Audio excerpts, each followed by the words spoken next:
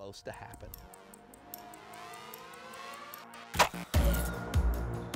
Smoked him.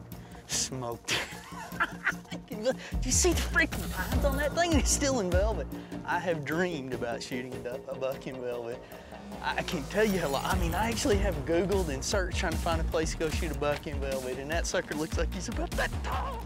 And to shoot a velvet buck, a buck that, that I wanted, not the biggest deer I've, I've ever shot by any means, but a buck that I'm as proud of as my biggest buck because it was something that I had wanted. It's been on my Christmas list since I've been deer hunting. I wanted to shoot one in velvet, and I got one. Look there, he trashed all through here.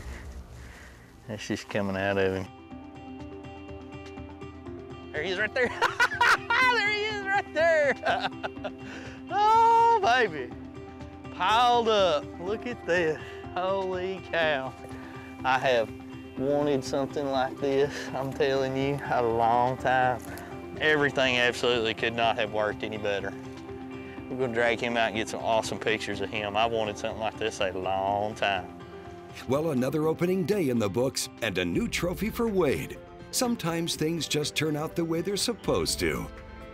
Well, crossbow hunting popularity has really skyrocketed over the years. With the benefits of both accuracy and ease of use, this option can provide a fun challenge